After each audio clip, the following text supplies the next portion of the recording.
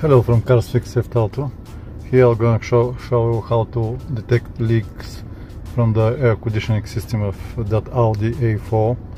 Uh, we use uh, have to put the uh, manifold gauges uh, for high and low pressure. Then uh, uh, we use bottle of nitrogen.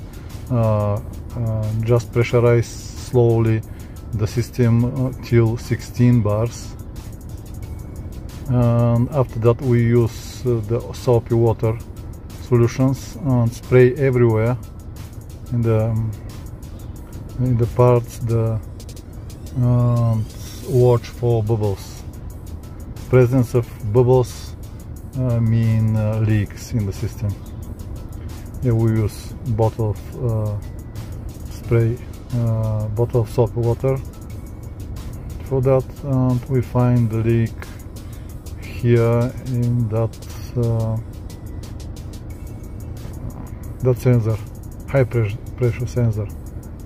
And we have to open it and change the o-ring the sealing